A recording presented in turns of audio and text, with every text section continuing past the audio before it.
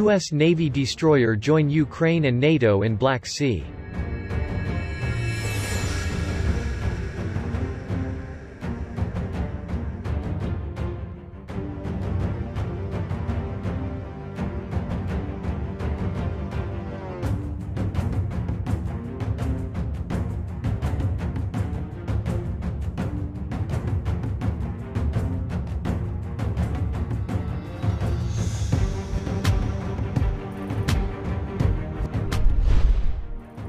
Ukraine and NATO have conducted Black Sea drills involving dozens of warships in a two-week show of their strong defense ties and capability following a confrontation between Russia's military forces and a British destroyer off Crimea last month. The Seabreeze 2021 maneuvers set to wrap up Saturday involved about 30 warships and 40 aircraft from NATO members and Ukraine. The captain of the USS Ross, a U.S. Navy destroyer that took part in the drills, said the exercise was designed to improve how the equipment and personnel of the participating nations operate together.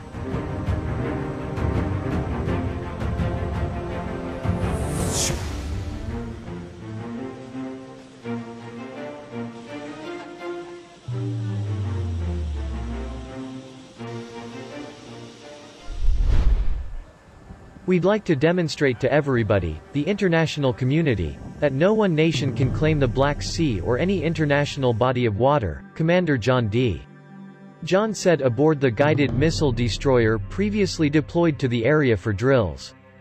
Those bodies of water belong to the international community, and we're committed to ensure that all nations have access to international waterways.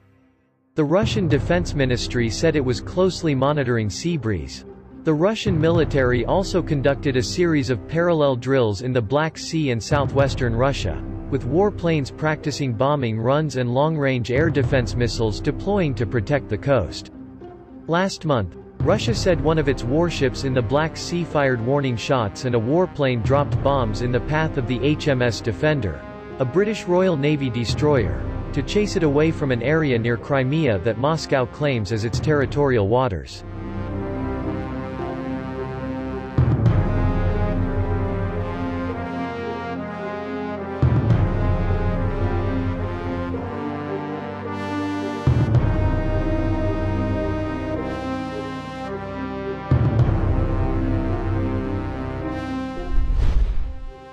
Russia denounced the defender's presence as a provocation and warned that next time it might fire to hit intruding warships.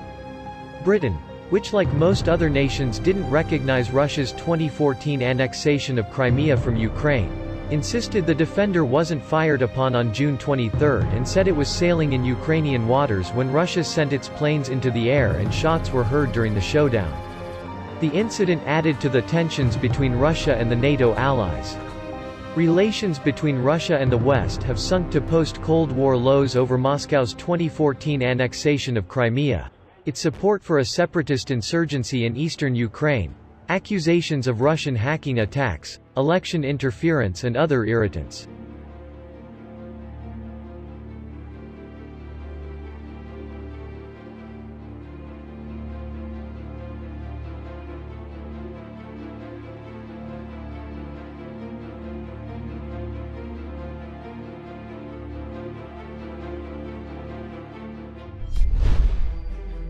Russian President Vladimir Putin said last week that the incident with the Defender wouldn't have triggered a global conflict even if Russia had sunk the British vessel because the West knows it can't win such a war. The statement appeared to indicate Putin's resolve to raise the stakes should a similar incident happen again.